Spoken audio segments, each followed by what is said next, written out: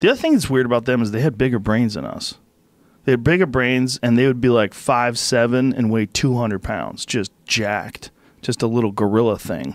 You know, there was a really dumb theory that was being bounced around a few years ago. It was really hilarious about how uh, we wiped out. We uh, assumed that Neanderthals, because we don't have any soft tissue samples, we assumed that Neanderthals looked similar to humans.